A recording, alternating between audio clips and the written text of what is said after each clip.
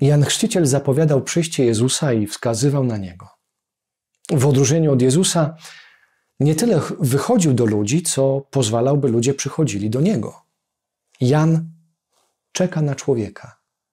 Jego misja była skupiona nie tyle na mieszkańcach Galilei Pogan, co na tych, którzy mieszkali w świętym mieście Jeruzalem i na terenie znanym z wierności Bogu, czyli Judei. To pokazuje, że osoby będące blisko Boga przyjdą do Jana. W odróżnieniu od niego, Jezus jest w nieustannym ruchu. Głosi dobrą nowinę, uzdrawia chorych, grzeszników jedna z Ojcem, a zniewolonych obdarza wolnością.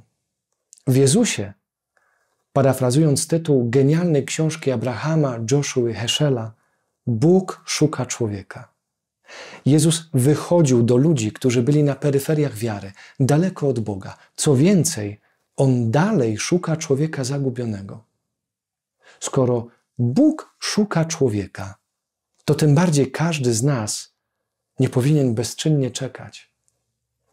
Naśladowanie Jezusa to właśnie wyjście do drugiego człowieka z dobrym słowem, życzliwością i troską, także, a może nawet przede wszystkim, o jego życie duchowe.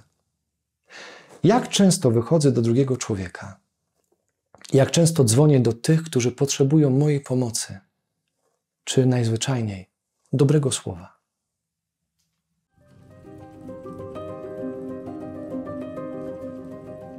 Nie byłoby serii Dominikanie na niedzielę bez naszych patronów. Dziękujemy.